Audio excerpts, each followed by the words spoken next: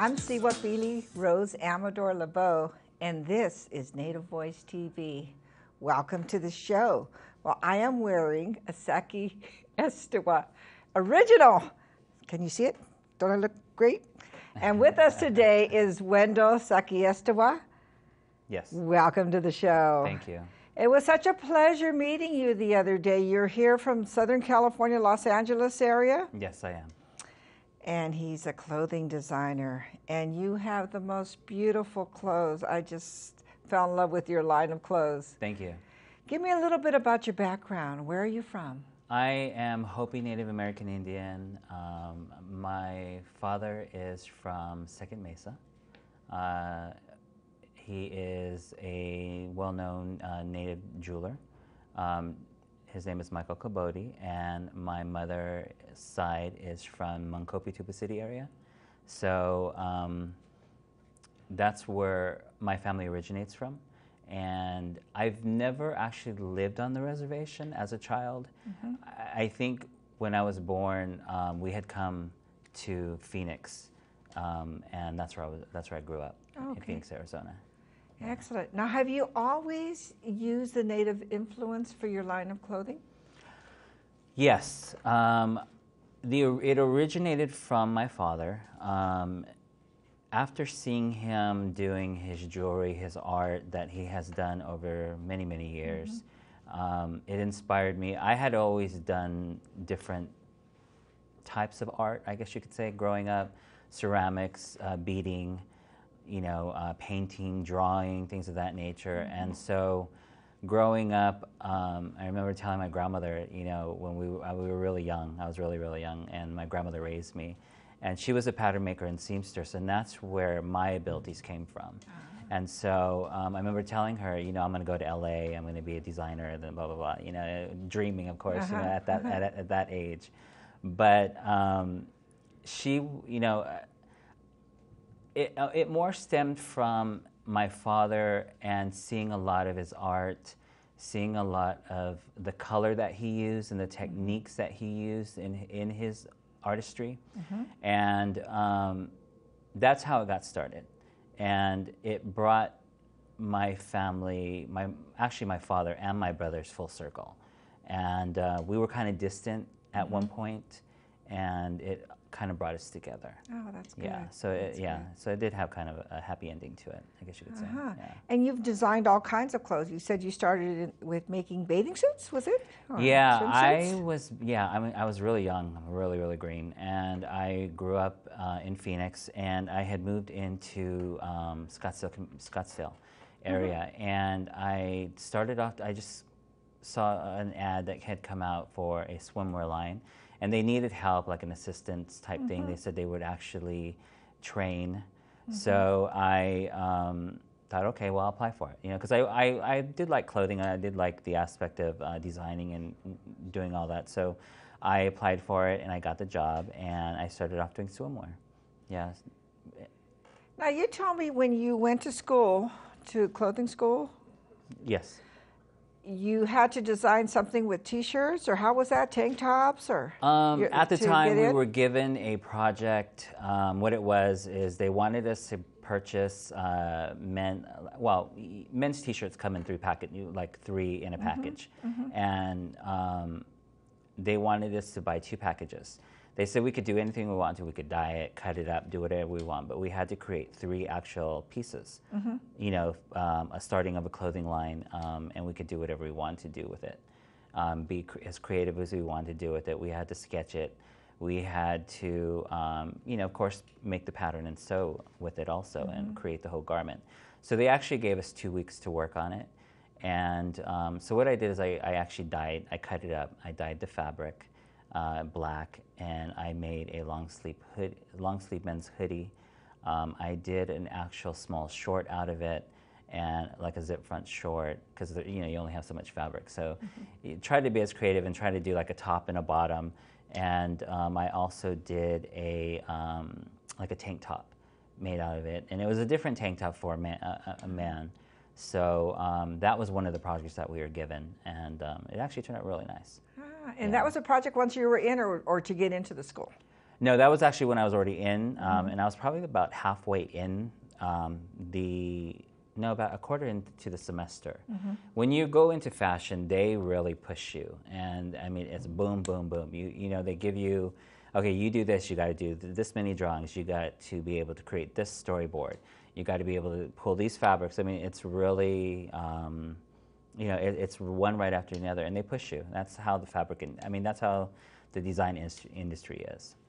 And you live near Hollywood, obviously, if you live in uh, Los Angeles. So well, have you- originally I did live in, when I first moved there, I lived in the Hollywood Hills. Oh, you did? Yeah, and um, I had moved several times after that just because it was too much. I mean, at, at, when I first moved there, I didn't have a car, so I was on the bus like the first year, I think it was, and it just, you know, you're going up into the Hollywood Hills, and you're like w- literally walking uphill, and um, you know, it, it was just got to be a little bit much, so I moved further out just to, you know, I, I think it's just more of a balance of peace, peace of mind, because Los Angeles can be a little crazy.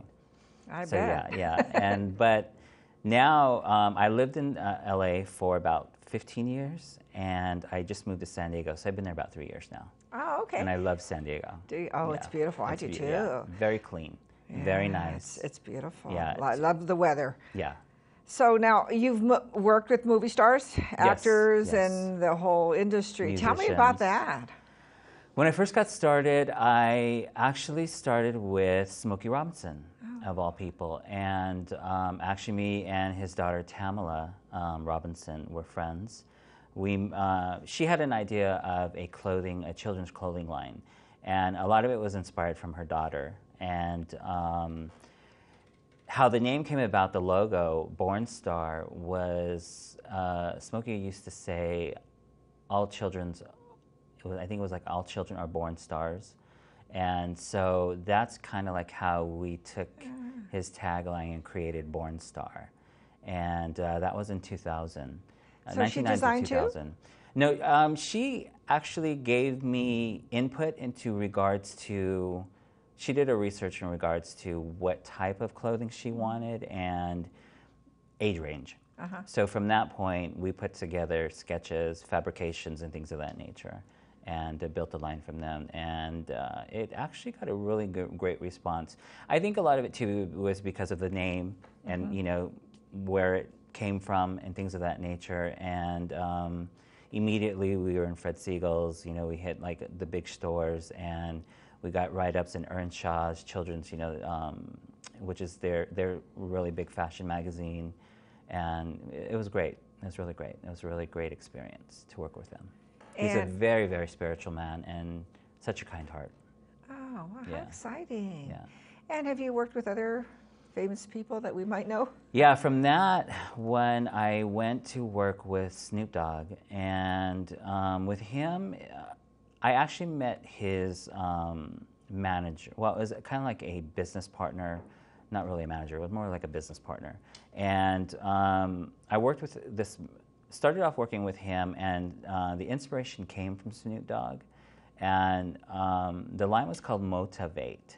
So, you know, the tagline, because Snoop Dogg is, you know, at the time was such a um, marijuana smoker. Uh, the tag, you know, the name was M O T A, Uh-huh. Motivate. So that's Oh, how it was okay. spelled. Yeah, so that's what it was, and that's how, we, yeah, a plant words. And we created. It was more of an urban streetwear line. Mm-hmm. So you, you know, we started with a lot of uh, plaids, you know, things of that nature, kind of sportswear, the baggy shorts. You know, it was back in those that time. Also, Mm-hmm. it was like 2000, 2001 to 2002. So um, there was. It was actually. It actually got a really good response. Really, really good response. It came. It was really nice. Wow. Very, very nice. Yeah.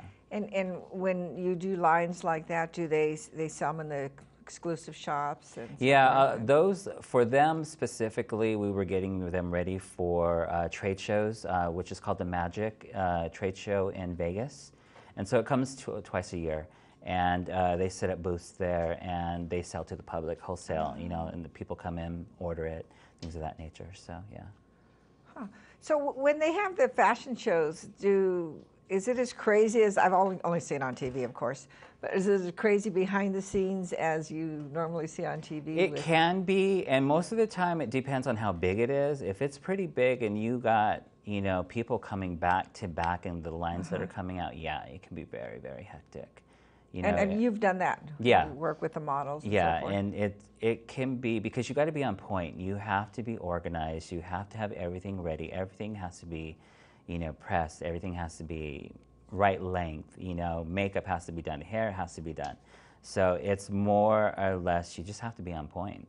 You know, and it just has to look great. Mm-hmm. Bottom line.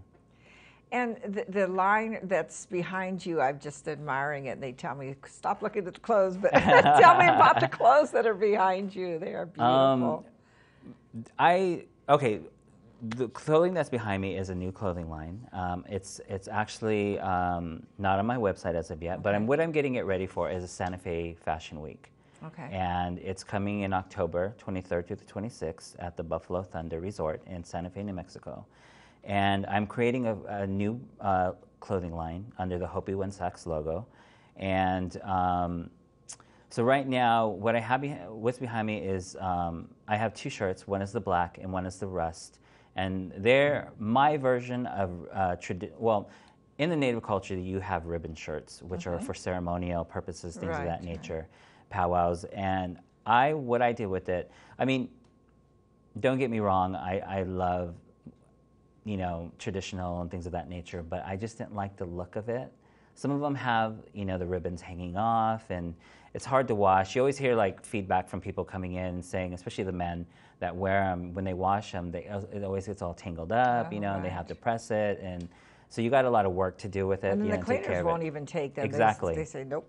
So what I did is I went ahead and made sure that everything was sewn down, you know, and I just gave it a new look, and I, I, I kind of urbanized it, you know, brought it to more contemporary, stylish of it, and, you know, I brought it up to date, and so that's what I did with with um, the rust colored and the black colored. And I really, really like them. Both the men's and the women's clothes. They're just so unique. Uh, I also did, you know, a color blocking. What's it, what, what is really in right now? I used the print versus the actual, you know, color, um, a solid color, and um, then uh, kind of did a, a touch of the ribbon into another con- in another contrast color, and uh, it, it looks really great. It does, and I even like the little touch on the back where you have the ribbon and the button. Oh, the bu- the detail in the back of the neck. nice. Yes, yes, Very, it's very all in the detail. Yes. And your women's line? The women's, I have um, right now. What you're seeing is the um, turquoise colored and the rust colored um, um, poncho, and it's a V-neck, um, and it's about. They're a little bit oversized because you know it's all in that baggy look. You know, you want to feel comfortable. The the weight of it, the fabric, it's very nice. It's it's a it's a poly. Um, it has a little poly cotton mixture in it with a little bit of lycra. So it's a very fine. Um, there's also a rayon mixture with a little bit of lycra, lycra in there as well. So um, the print on it is more of a. I took it from an actual rug print, you know, and I've heard people say that it's called like a native. Uh, in the Navajos, it's like a Spider Woman type print. I, I'm not exactly sure what it was, and that wasn't where I was actually referencing it to when I designed it. When I actually designed the print and actually started printing it, it just the way it came out. So um, you know, um, I liked a lot of the symbolisms that you know the clothing carries. Um, and it's a lot of the sacred symbolisms that I really strive to, and the color and how it works with the actual pattern versus the actual fabric. And yeah, Very striking. And as I said, I have an original one.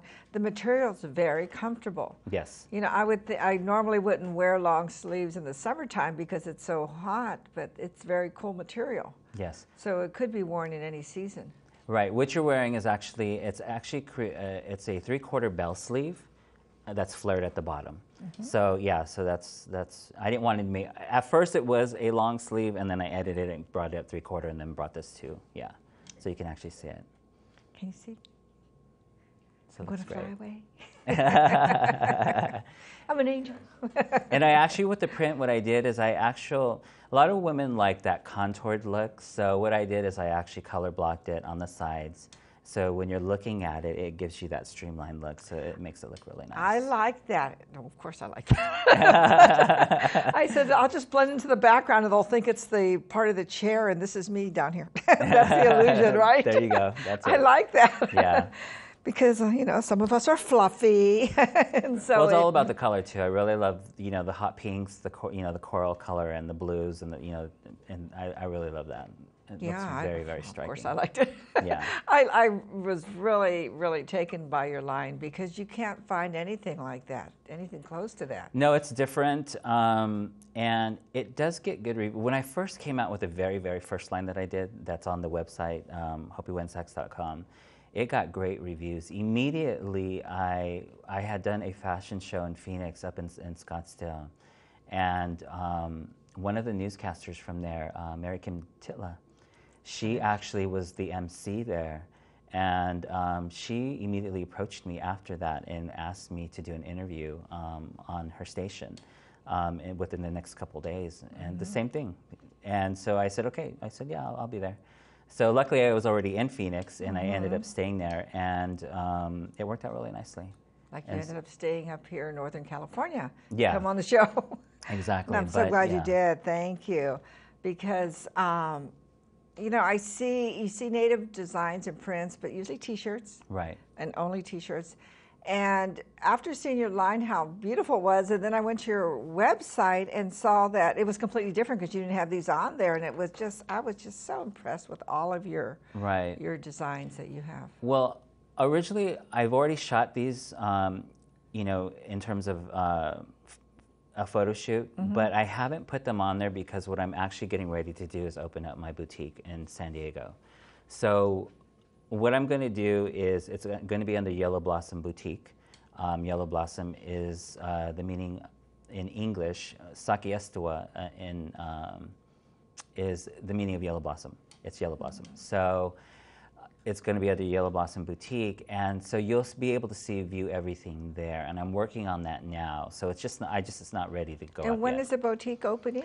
I'm plan. I, right. Okay. Right now, I have three different locations that I'm looking at. I haven't really pinned them down yet because, of course, it's coming to um, square footage and and you know, the best deals that they're willing to give me. And so we're working on that right now. And um, so my plan of attack is August, September, the end of yeah, Okay. right in there.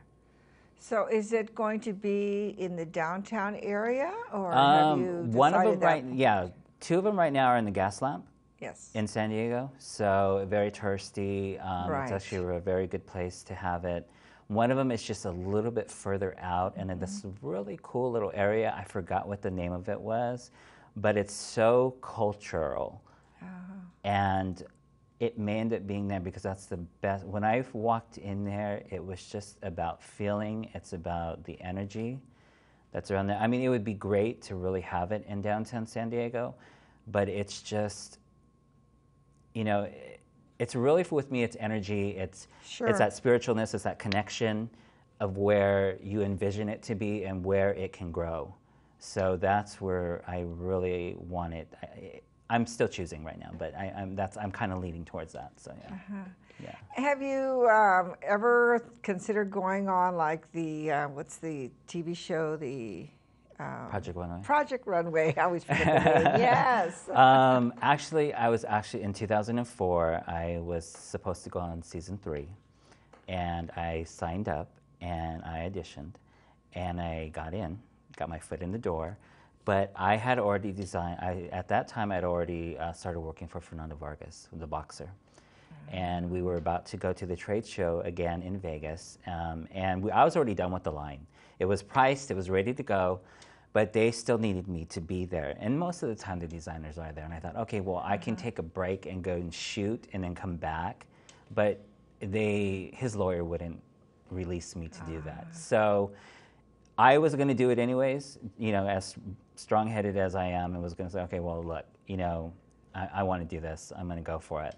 And it was my, you know, it was my uh, foot in the door type thing where I can actually just do it. And so they kind of said, no, you're going to get sued if you do that. You have to be there. You're under contract, blah, blah, blah. So that's, I had to. I, I couldn't do it.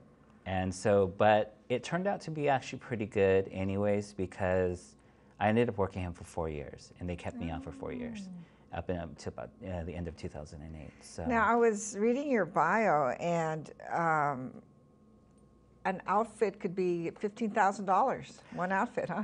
I was like, wow. well, with with that, um, okay.